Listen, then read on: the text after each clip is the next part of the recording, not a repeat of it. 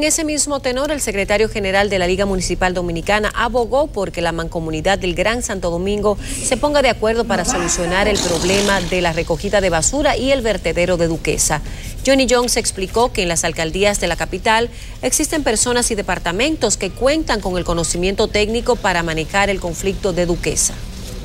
Que iniciemos, y ahí sí ya la Liga Municipal Dominicana, porque tiene los contactos internacionales, a definir una política pública que permita a la población entender que ya la basura en el mundo no es un problema, que la basura en el mundo es un instrumento de desarrollo, es un instrumento de proveer riqueza. Johnny Jones habló luego de participar en un taller para capacitar a maestros como promotores de la paz, actividad organizada por la Fundación Vida Sin Violencia.